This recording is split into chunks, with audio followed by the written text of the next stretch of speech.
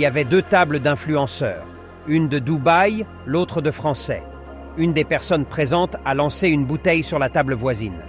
Une jeune femme l'a reçue en pleine arcade et a été blessée.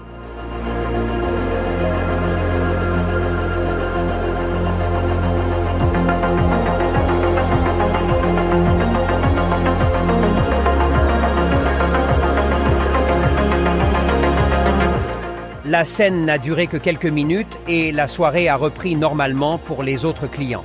D'après ce que l'on sait, certains des participants à cette bagarre sont déjà repartis à Dubaï.